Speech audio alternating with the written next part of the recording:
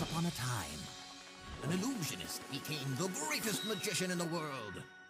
For years, he was loved by the public. He could even make children cry with joy. His name was Lele, the green-eyed illusionist.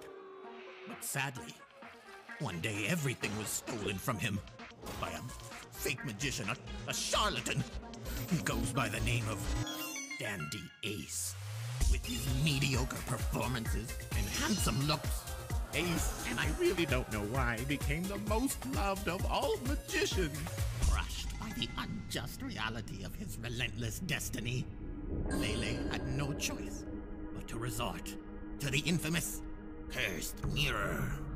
You have the power to create a whole new world, but for the price of your soul, the mirror said. I understand. I'm yours.